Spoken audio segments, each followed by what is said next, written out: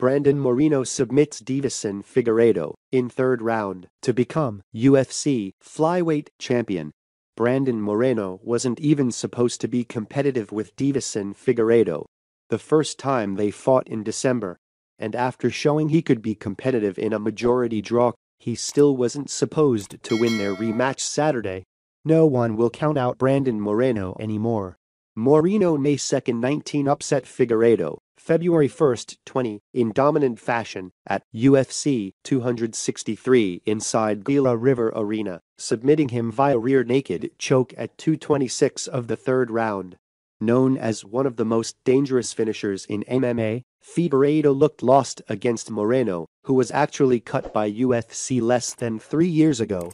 In winning, Moreno became the first Mexican-born champion in UFC history. I can't even believe it, he said. This is a real dream come true. I worked so hard for this belt. I have 10 years as a professional, 15 years training every single day. This moment is so special.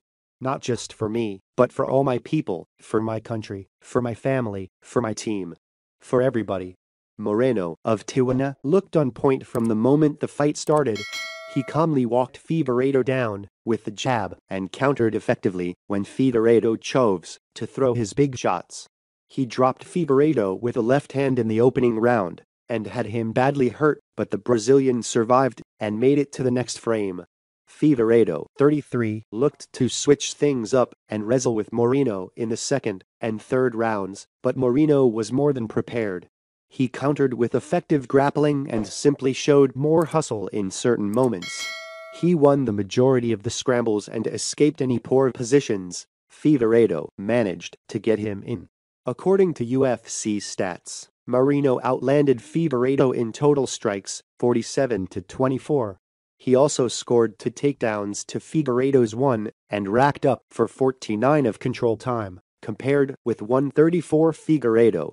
I have so much respect for Deiveson, Moreno said. Obviously, he tried to make it something special, to put more eyes in the fight, pushed me in the press conference, but actually, when he pushed me, I knew I won the fight. I won the fight there. My confidence was very high, and he looked different. He didn't want to look me in the ice. He put his sunglasses on. He just looked different. It's an amazing story of perseverance for Moreno, who was cut by the promotion in 2018 when the flyweight division, as a whole, was in jeopardy.